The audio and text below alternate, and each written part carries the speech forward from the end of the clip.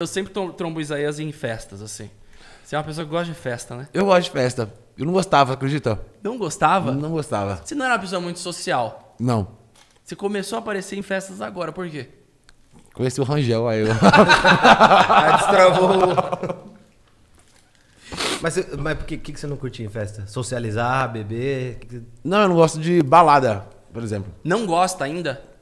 Você gosta de social. É, lugar aberto, na casa dos outros, sentar no bar, Entendi. sertanejo, pagode. Aí eu falo, Rangel, vamos no pagode, ele hum, quase dá um soco. ele não gosta de pagode, ele não gosta. Aí ele fala, não vou. Aí eu tô acostumando aí. Mas eu não, não gostava muito, não. Mas começou a gostar em casa. quando? Ano passado.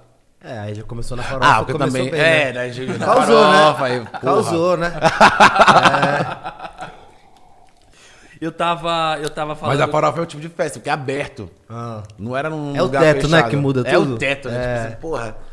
Rapaz, eu tava lá, eu vi umas coisas no Instagram, Isaías, eu falei, mas... Aí eu comecei a olhar, falei, acho que é, é ele, Instagram. Comecei a observar um pouco mais, sabe? Tipo, uma De coisa perto. do Globo Repórter, tipo, vamos ver, vamos observar, como se... Rapaz, beijou, né?